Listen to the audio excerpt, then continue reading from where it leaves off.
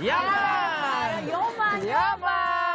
Yoman dari mana Yoman? Dari sana, Oh, Man. lu anak Jamaika Ayo, oke, Man. Yoman. Oke, Man. Saya mau hancurkan hutan-hutan di sini, Man. Jangan rusak hutan dong, Yoman. Peace dong, Man. Oh. Yoman, Yoman kan biasanya peace kan, Man. Peace, Man. dong. Oke, Man. Tor, Ah, hei, kamu kotor kan? kamu siapa? Hei.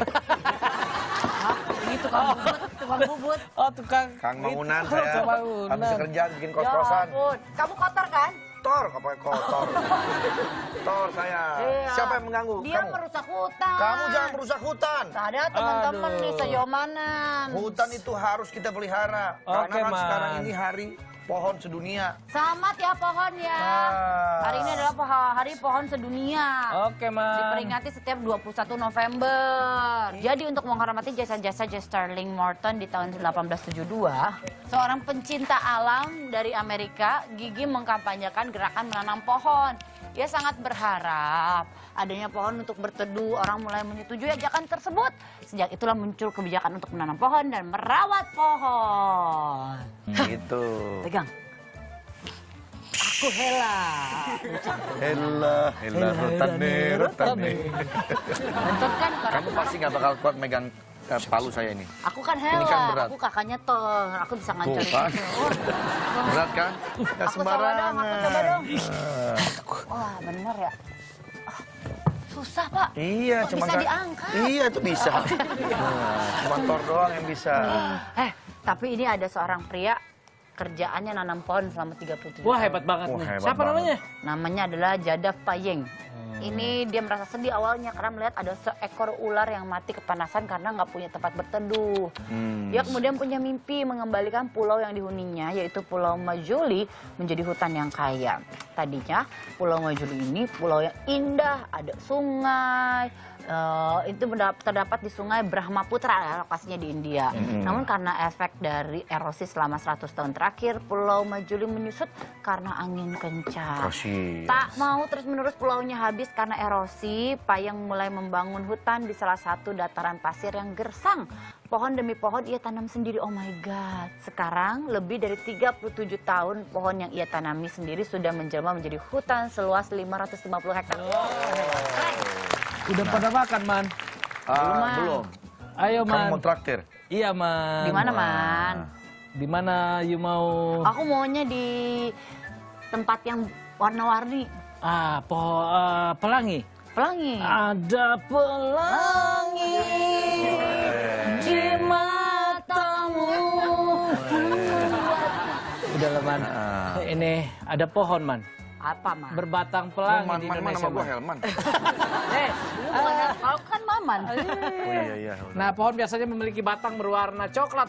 Tapi ada pohon di salah satu wilayah Indonesia memiliki batang berwarna pelangi. Itu dicet.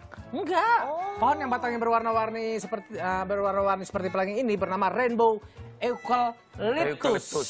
Pohon ini merupakan salah satu jenis pohon kayu putih, tapi rainbow eucalyptus tidak menghasilkan minyak kayu putih seperti pohon sejenis lainnya. Lucu banget ya. Keren kan? Tapi man, makanya tadi tuh untung ada Tor ke sini mencegah lu untuk Iya, merusak tadi pengen hutan saya rusakin, ini. Man. Ya di sini soalnya ada hutan cemara tertua sejagat Oh, umurnya iya, di mana? 9.500 Mana, Man? tahun. Ini yang diberi nama Oud Jiko.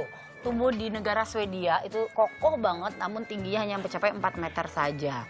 Ternyata setelah diteliti pohon ini eh, tumbuh apa hidup sekitar 9.500 tahun. Pertama kali diteliti di tahun 2004 oleh Profesor Arkeologi dan Ilmu Lingkungan Universitas Umeå, Swedia. Menurut mereka, umumnya pohon-pohon sejenis ini bisa bertahan hingga 600 tahun. Lama Tapi yang ya? ini mungkin yang istimewa ya, dia sampai 9.500 tahun, Pak. Hebat. Sebentar, minggir. Bahaya nih, Man. Saya mau, mela- mau melakukan uji coba ini saya, tenaga Apa saya. Tuh?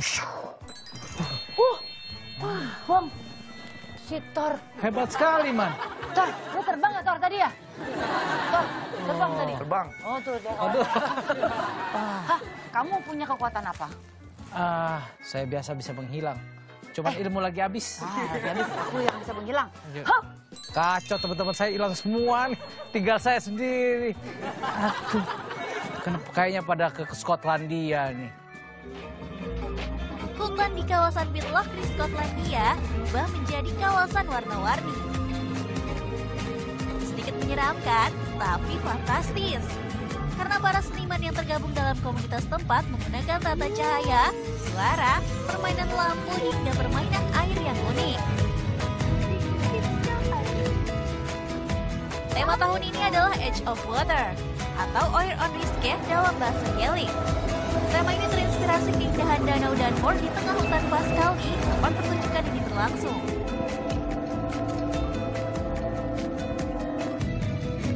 Ada beberapa pertunjukan seperti Lightning and Water Show, Digital Rain, Electric Waterfall, hingga Liquid Sunshine.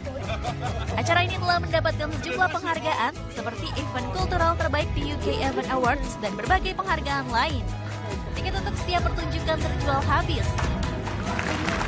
Dari mana aja kalian? Kalian-kalian dari mana kalian-kalian, Man? Nah, Gua di situ tadi. Aduh, Man. Gua di pohon cermek tadi gua. Aduh, ngebut, Man, tadi, Man. lapar Tor. Ah, Lapar. Lapar Tor. aduh, makan di mana di sini? Ah, gini aja. Kita makan martabak hantu. Martabak martabak aja, ngapain pakai hantunya? Ih, tapi ini ada keren banget. Apa? Ada martabak hantu? Tereret. Ada sensasinya makan martabak hantu. Beda dengan yang lain. Kalau Makan martabak hantu ya? biasa. Saya nggak ngerti maksudnya apa. Ya udah, kalau gitu pegangan. Oke. Kita mau terbang dulu. Siap, sebelah sini, sebelah sini. Saya mau terbangnya ke sana. Oh, iya. Sayap, ke sayap, ke sayap, pegang sayap. siap, ya. Kesonoan lu nggak kelihatan. Sono, sono, sono. Lu ke sini nanti.